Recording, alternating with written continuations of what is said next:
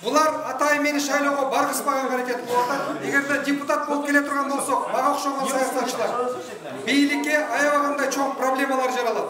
Алардын оюндагы ойлор ишке ашпайт. Биз аларга каршылык көрсөткөндү билебиз.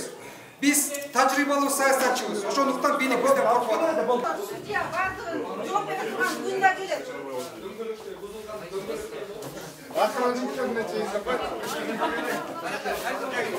Конституциялык мыйзамдын жыйырма биринчи беренесинин онунчу бөлүгүндө так жазылып турат кандидат катары депутатка кандидат катары талапкерлигин коюп катталган жаран кылмыш жоопкерчилигине тартылбайт депчи биз айтып атабыз эки миң он тогузунчу жылы кой таш иши боюнча жээнбеков айыпталып жатканда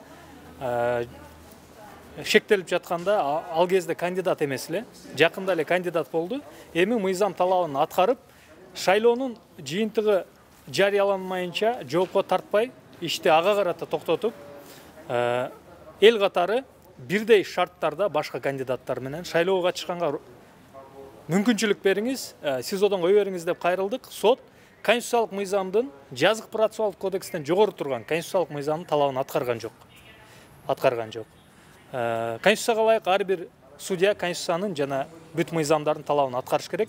Тилекке каршы аткарган жок эми мындан ары биз ойлонуштурабыз кандидат болгон э, равшан жээнбеков кантип өзүнүн мүмкүнчүлүгүн ишке ашырат ошол ошонун үстүнөн ой жүгүртөбүз